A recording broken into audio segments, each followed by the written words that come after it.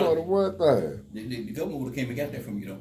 Hey, I was gonna put it up that bad. You know they've been suspending suspending me anyway. They'd have came and got me on that. one. Yeah, they came. Mm-hmm. If you'd have seen what I seen that day, you'd have been like, wait a minute, man. What, what was it like? Um, what did it look like?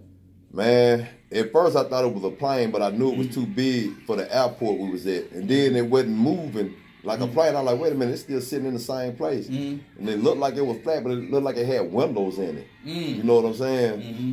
And then that joker moved, moved on up 78. I mean, um, 21 coming from Talladega. And I followed it from Oxford to Anniston. And I finally got to Anderson, and that's when I got out the car. And I got out and, and I saw it, man. How, how far that you followed it?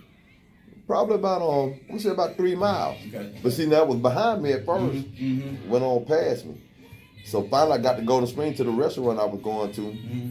and um, it moved around and then it veered off toward the sun. Mm-hmm. Then it started looking like a balloon. Just went on up and I ain't see it no more.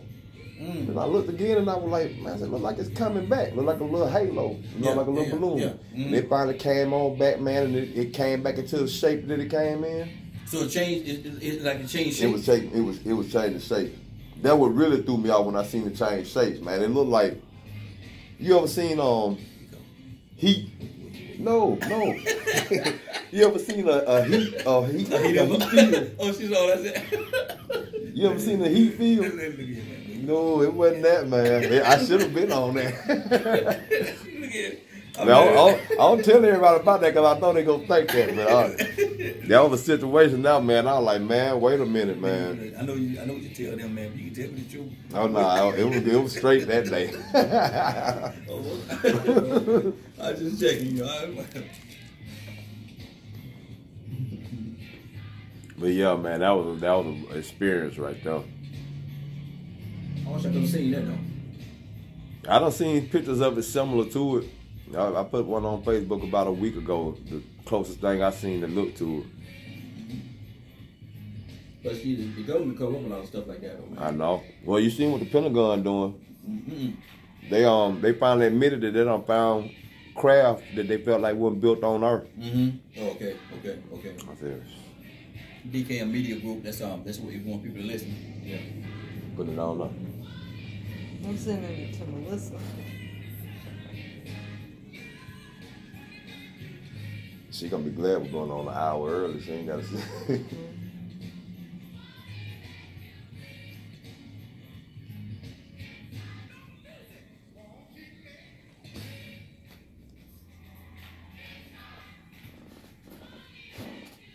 see. see if I can throw them for. I ain't gonna, I ain't gonna say throw them for a loop, but come up with a, a topic that's you know what I'm saying. It's interesting, but at the same time, it's something most people probably don't think of. Mm-hmm.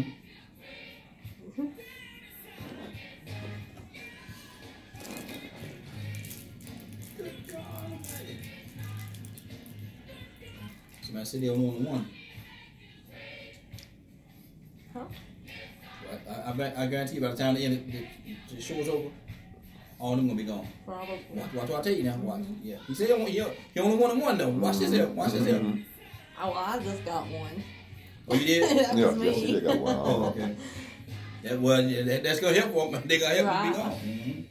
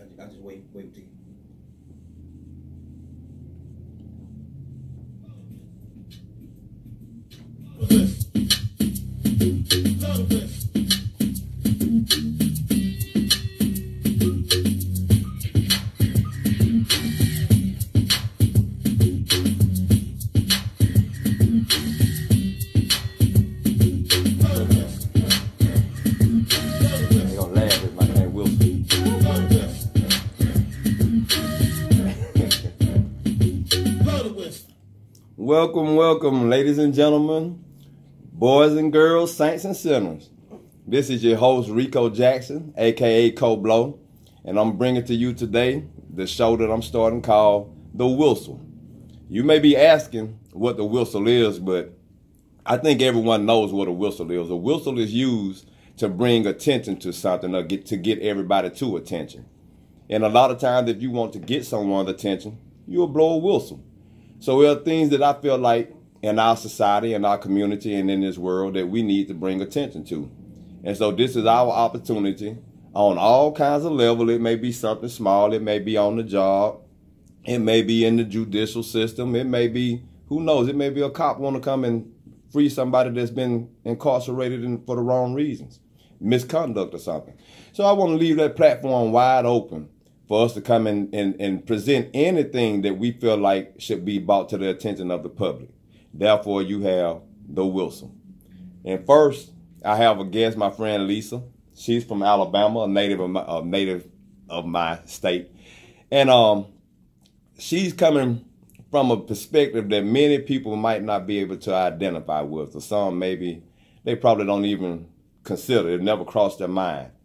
But this topic, well, along with other topics that we can talk about, this topic is going to be about white women that love black men, but they were raised in a severely, I ain't gonna say severely, I won't say severely. Okay. They were raised in a, a, a, a discriminatory household. Outside, I'll make it light like that. I won't make it sound so bad. She has a, a, very, a very um, inspiring story, but at the same time, it's eye opening. It's a, it's a point of view and an aspect of life that most of us never could be able to identify with or never could even imagine or comprehend. And me personally, I'm one of those type of people that can look at other aspects of life of people that, you know, go through certain situations and wonder how does it feel? How do they feel? What do they go through? And so this is a situation now where we get the point of view from somebody that grew up in a situation where they were raised to not like certain people, but in the back of their mind, they knew it was wrong. So, Lisa, I want to introduce you and say welcome. Thank you first off for being my first guest.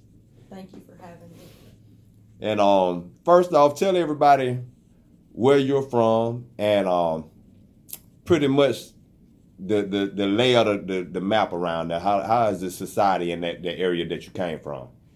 I was born and raised in Scottsboro, Alabama, um, and then the way we were located, we had three schools to choose from. Through in high school, you could go in and do go to Guntersville, Scottsboro, Scottsboro, or Grant Mountain. Well, because of the way my mother was raised and the man she had married, I was basically forced to go to an all white school, right. not have anything to do with any black people or anything like that, you know. And like you said, I knew it was wrong. It was always in the back of my mind. Well, I don't know that person, so how can I judge him? How can I do it? And um, so then they, once I got out into the workforce, that's when I seen, you know, that there's all types of certain people, all kinds of different people. There's good and bad in all. Um, but yes, I was raised that I'm not supposed to communicate like or have anything to do with a certain race, right, right. with the black race. Um, and you know, and I'm I'm not that person. Exactly. I, I I let my opinions form me, and not everybody else's opinions form my opinions. Right, right. See, a lot of people don't know this. Lisa didn't know this. But um, when I first met Lisa, Lisa was at my neighbor's house getting a tattoo. And I met her son, and her son came in, man, he's a giant. He came in like, what, about seven foot ten. now, he's a big guy. A big guy. And so, um, you know, I heard her accent, and so I knew, you know, she was from a, a, a area that, that, that wasn't many, too many of us. And so I had an assumption. That's why you shouldn't judge, judge a book by its cover. I had an assumption about Lisa. And I listened to her talk. And I, I left there thinking to myself, man, yeah, she from this side of town, she from that side of town. She got to be racist. It ain't no way, in, it ain't no way possible. Listen to her. She talk country. Yeah, she got it wrote all over. her. and um, she made a comment one day, and it sort of rubbed me the wrong way. And uh, you know, I thought about, I said, well, you know what? I said, I don't think she meant nothing by that.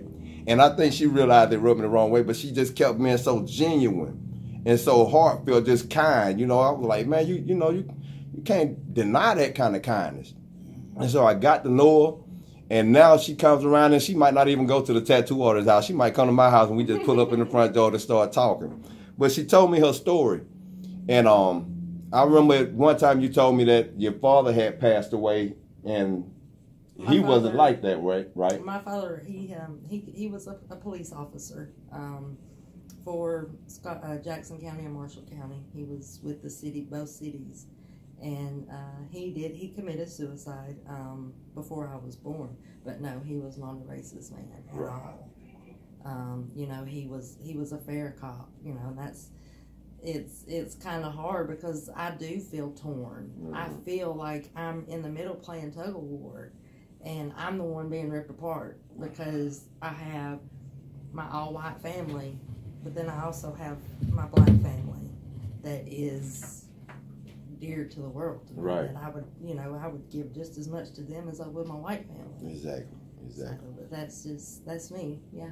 And see, you know, when you told me about that story, when you told me about everything that you went through, you know that I, I, I get attached to people's situations. It's not hard for me to actually put myself in their shoes. Right.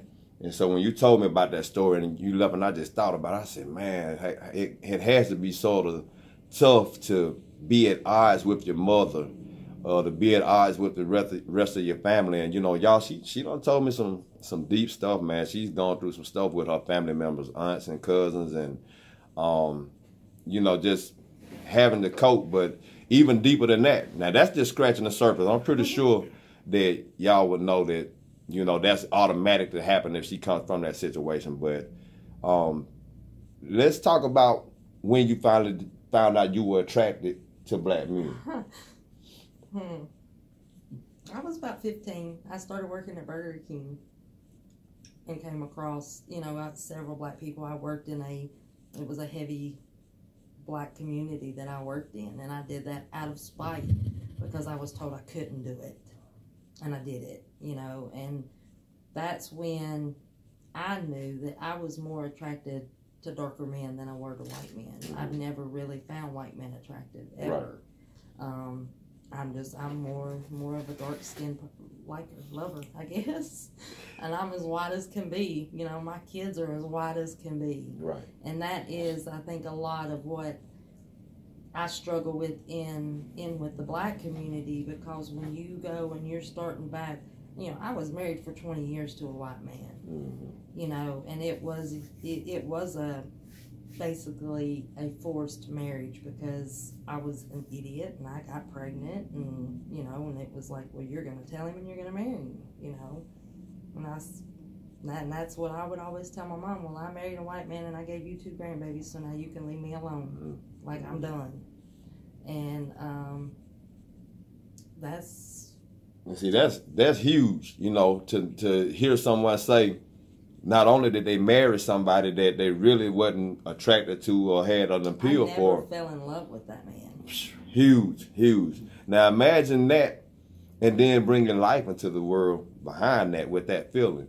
You know, but now I've seen her with her children and know that there's no problem. She doesn't have anything against her children, but you know, oh man, that, that has to be difficult. I mean, I can't speak from your point of view, hmm. but I know sometimes you might. I wonder, do you look at them sometimes and just think, you know, well, if I had my way, y'all was supposed to look different. Right, I, and I and I have, you know, and I've told my boys, they're they're comfortable with me dating black people. You know, the black men. They're not. My kids are not prejudiced. Hmm. I didn't raise them that way, and they're they're not that way. They they open up just as much as I do. You know, they have my personality. They took all that from me of not being prejudiced because they could have.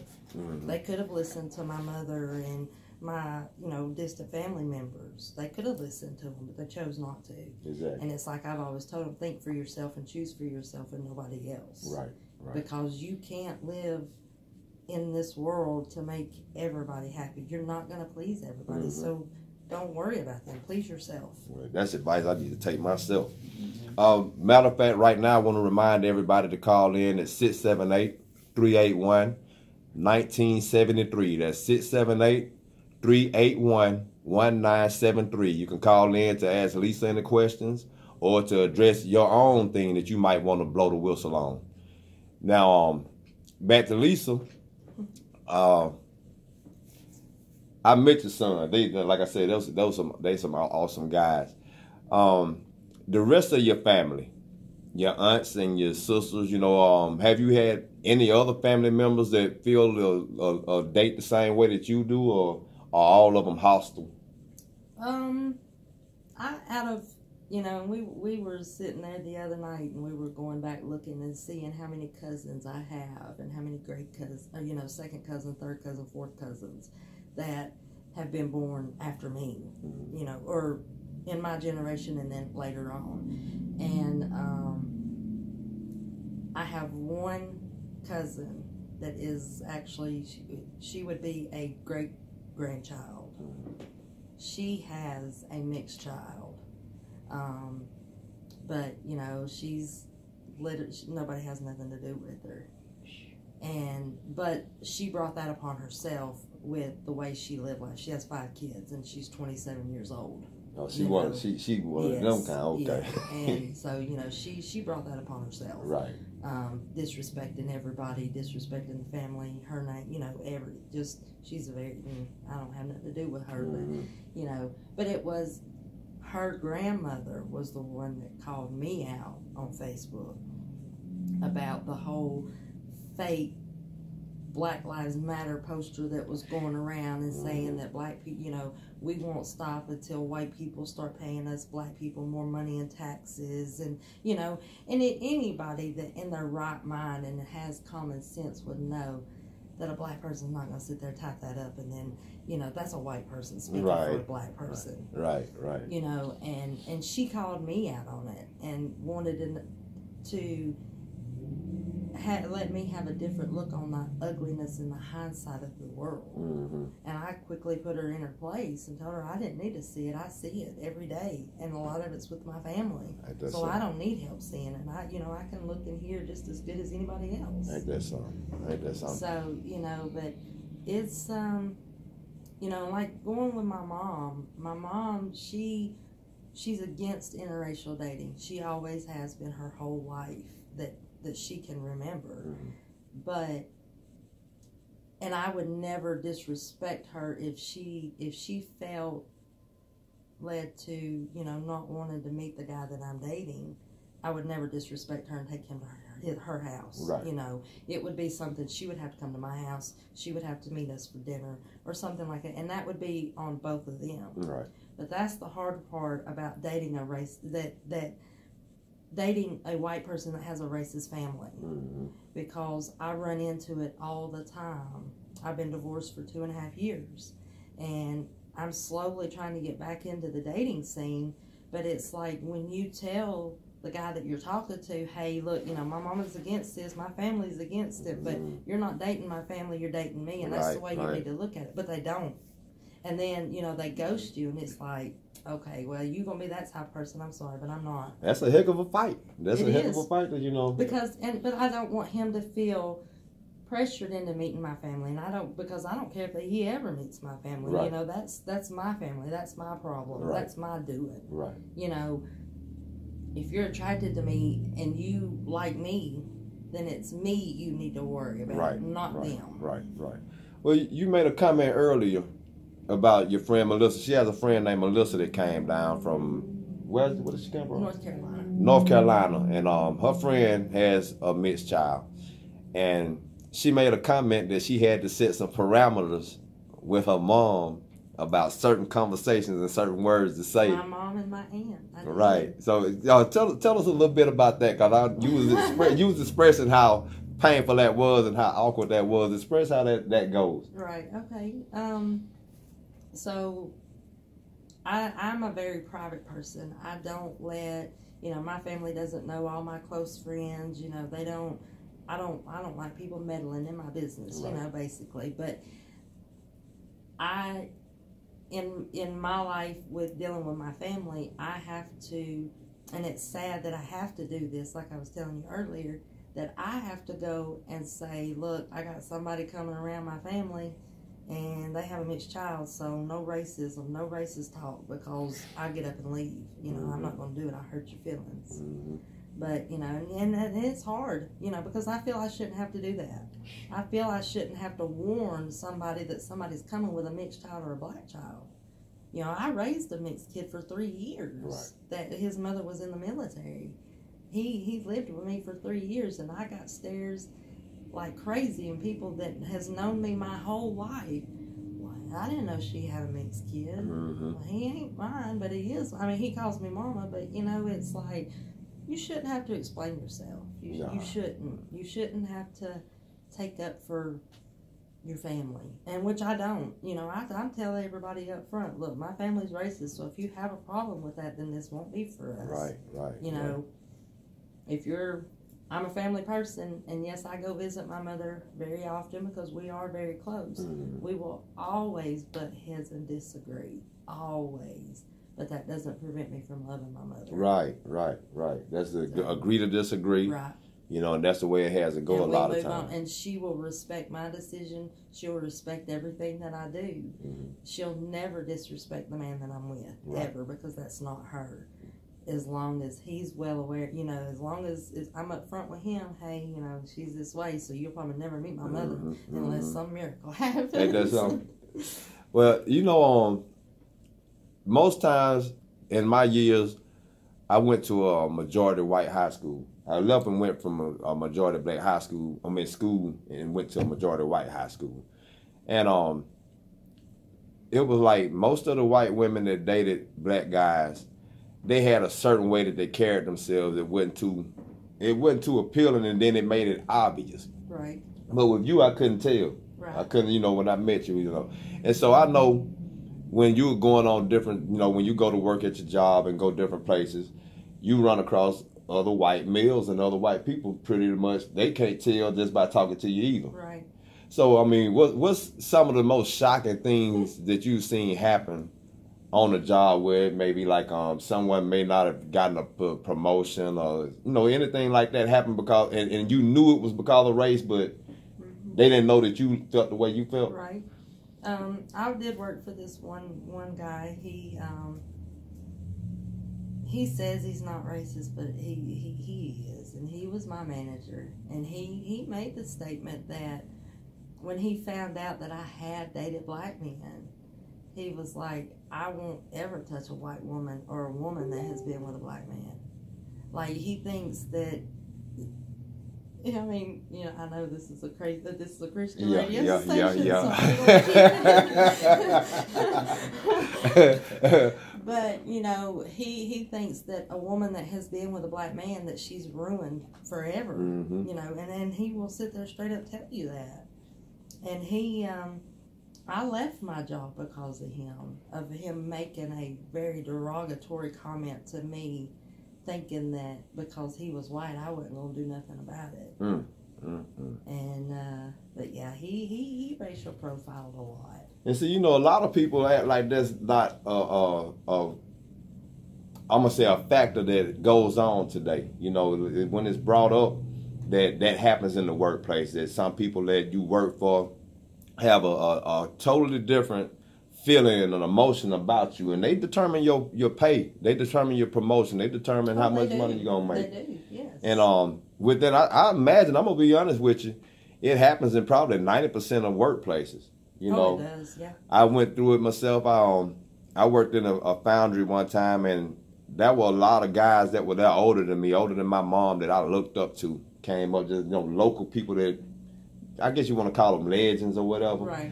And those guys worked out there, and I looked up to them, and then I started going through certain situations, and I started speaking my mind. I was like, man, wait a minute. They making you train him, but then they offer him the supervisor job. What's going on with that? Mm-hmm. And they wouldn't never say anything. They just, you know, tell me to be quiet. So after a while, I started raising saying about it. Oh, Rico, you're going to get fired. You're going to get fired. And I never could understand why everybody was willing to accept that. Right. And so I ended up having to be a union representative and, and got the company sued twice, class action lawsuit, before they finally got rid of me and I had to sue them. Mm-hmm. But the for me to prove that I was discriminated against, I had to jump through hoops. It was almost like I needed to have them caught on tape. Right. It wouldn't. It was like any of the obvious things that was going on that let them that let me know that I was being discriminated against. I couldn't use that. I had to have it in writing. I had to have it on camera. I had to have a picture of a noose or something. Him just telling me I ain't gonna hire you because you a N word or whatever. Right. And that's not gonna happen. So you know the you know I, I feel like a lot of the times the only way we will solve that problem is to address it. It- Absolutely. hold everybody accountable and admit that these situations happen. you know, a lot of people are like, "Well, racism, it's it's not being there." A lot of and a lot of white people, and there's been several black people that are like, you know, racism. This all is new. This all is new. It's not new. It's been around. I'm 42 years old. It's been around for a minute. Right. I mean, you know, and it's it's not something to take lightly. If racism, if race didn't matter, why is it on every application that you fill out? Exactly. Exactly. You know, if if race is not an issue, then why? It doesn't need to be on there Exactly. at all. It's in it's a breath of fresh out of here. You saying that A white person, because right? right. when we say it, it's like, oh, y'all just crying again That's about it. something. You're You're, right. you're, blabbing your mouth. Go get the benefits. We gave you these benefits and gave you that benefit. But wait a minute, this thing has morphed and transformed. It is, it, you know, it put a costume on. You Right. know. Mhm. And so right now, you really, when you do see it, the way the standards are set up for you to prove it is just not possible. right? You know, unless it's Mhm. just blatant, and they actually leave room for people to get blatant and disrespectful with it Oh, they when they do? don't put guidelines in place. Like me, I, I um I approached a guy one day, and I said I was going to do this from now on. Any people that, that felt like they were for the entire community and they had a platform and said they was against racism, I was going to tell them to make a stand and let's go to to, to the legislation and, and see if we could get it banned, make it a um, punishable crime Absolutely. because you cannot get rid of anything without creating a deterrent. You got to have a deterrent. There has not been a deterrent for Oh. 400 years, Mhm. not one. We've had um, access. They've been giving us benefits and access and a few rights here and there. But as far as creating a deterrent for people that use that privilege to keep you from receiving a good pay or just living peacefully on your side of town, you know, Right. you move into a new neighborhood, they don't want you there. You, you should have certain rights hmm to guarantee your comfort. And so um, I hear a lot of a lot of things have been going on. We've been marching for decades. We've been marching since Martin Luther King died. We've been marching and protesting, and I still haven't seen anybody say, "Let's ban it. Let's make it a crime." Right. And I feel like if they make it a crime, you'll get rid of it in the police departments. hmm You'll get rid of so many falsely incarcerated or convicted um, people, like the um, Central Park Five. hmm Imagine if some of those people had to go and do the same time that those boys got sentenced to. Exactly. They would have they, they would they wouldn't have pressured somebody to get a, a conviction. Right. So I mean, you know, it- it's it's a tough world out here, you know, and we need people on both sides of the fence Absolutely. to actually, you know, speak out about this, you know, and, and that's why I said I wasn't gonna pass this opportunity up to have somebody on that I knew was would speak sincerely from the heart, would actually know they, they do right from they know right from wrong. I saw what she do with her son, and I mean, like I said, it is I, I'll never doubt her sincerity. I know she's a good friend. I, I she'll be my friend to the end. But um, how do how do your your sons deal with it in that same aspect with your family with the hostility? The same way I do. You know, they they ignore it. Mhm. They let it in. Uh, I mean, they don't they don't let it. They, it goes in one ear and out the other. Um, you know, they're they'll they'll joke and and stuff like that, but they know that racism is very serious right now. They know that Mama may have a boyfriend and he may be black and it's go okay. You know, mm-hmm. they they don't they don't have a problem. They Right. don't and they don't like I said, they take a lot after me. Mm-hmm. They they don't they form their own opinions. Right. Both of them. You know, they're they're outstanding kids. I'm I'm, I'm proud of my boys. I tell you what, they some good ones. Uh, That if looks can't be deceiving. If you saw them, you just be thinking, man, these some big rednecks, boy, they gonna do something to me. But that's that's not them. But um, we have a caller on the line. Caller, what's your name and where you calling from? Hey, uh, I'm Alex uh, Collins, uh, Peoples. Um, what's up, Rico? I'm calling What? from Montgomery, Alabama. What's up, Pooh? Not much, not much, not much. Um, yeah, um, yeah. I just want to um, iterate on what y'all was talking about earlier about um, about interracial uh, dating. Um, you know, uh, as you know, my son um, they married now. Um, they was dating for a long time. My son is black, and my my daughter-in-law uh, is is white, and you know. Uh, when they started dating, you know, I, you know, invited them uh, to my home, you know, and I, I was just talking to them about, you know, uh, what possibly what they'll face, you know, as far as being Hostility. an interracial couple. Right. And they was young. I think they was like right out of high school, and uh, they was young, and you know, they was looking at me like, you know, what are you talking about? You know, like you, you don't know what you talk. You know, like I, I could just pick up on that. You know, and I just keep continued on to talk uh, to him about like you know, uh, I was like a lot of people. Ooh, I tried to um, quick one. They called him in. Sorry about that. man. Oh, oh. you want me to tell me you cut him off? Yeah, yeah. He said I ain't mean to. Hey, to call, back. call back in, Pooh. He cut you off by accident. But I, I know your situation, Pooh. Um, his friend, his son, married um a guy that I know. I, I didn't go to school with him. He graduated before I did, but he went to that majority white school. And um, when he told me who his his daughter-in-law's law's father was, I told him he was in good shape. Go go ahead, Pooh. Yeah, uh, I, my phone, uh, something happened. Huh? Hello. Go ahead. We we got you. Oh, okay, yeah.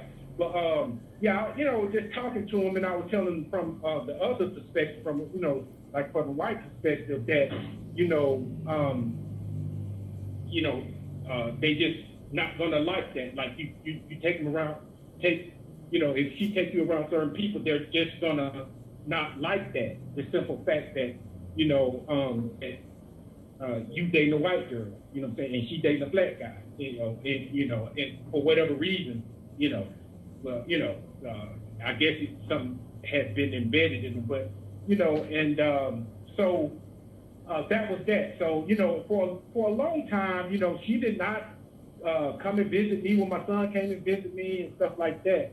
Um, you know, she was kind of distant, you know, and I just kind of picked up on like, you know, yeah, she probably thought I was crazy because I was giving her all the information and everything. But she saw it firsthand when she, you know, she um she went to college and graduated. They went both of them went to the University of Alabama and everything. They they both graduated and everything. And she started working at a regional medical center and um, as a technician, dental technician or something like that. But anyway, um, they had one car, and my son dropped her off at work. Um, he would drop her off at work, and this particular time he was kind of late coming to pick her up, and um, so um, she was waiting on him to come and pick her up.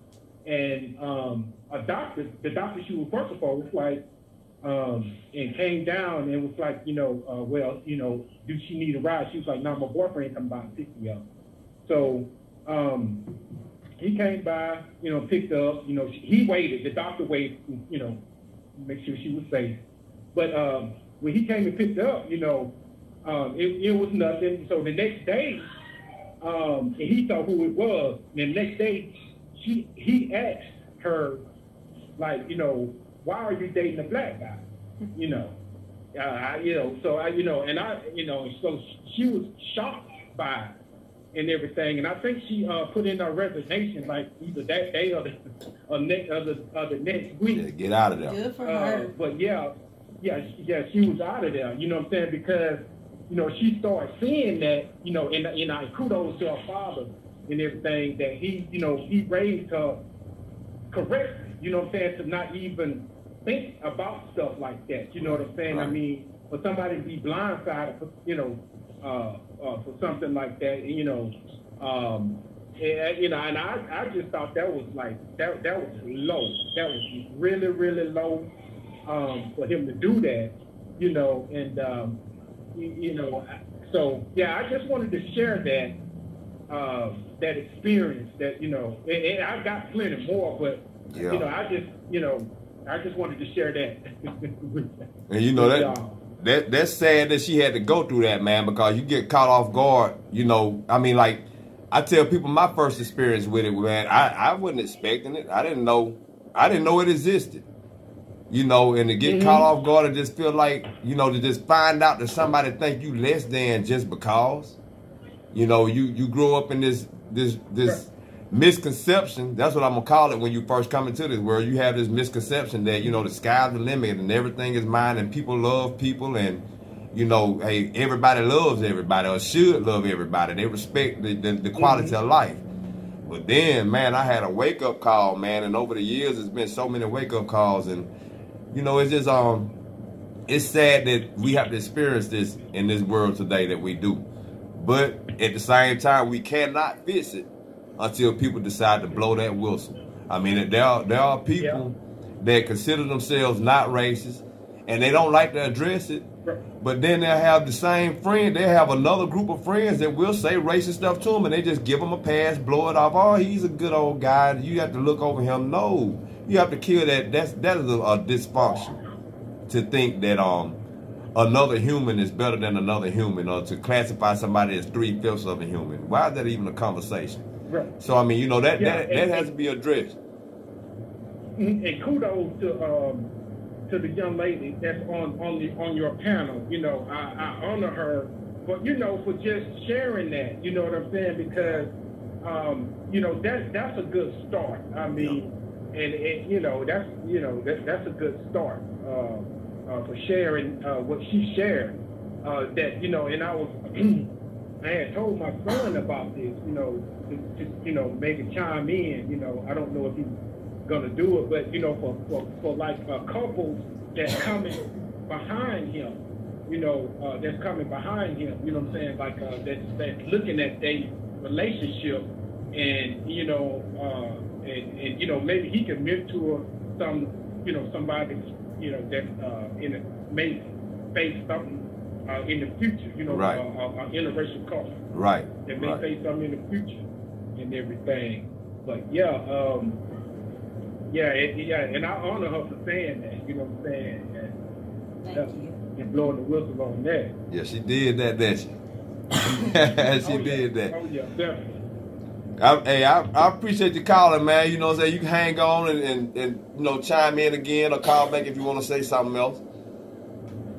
Okay, okay. I- I appreciate you calling, man. If it, if it won't be a, yeah, okay. Well, I, well, yeah, okay. All right. You know, um, I got a, a a white male friend.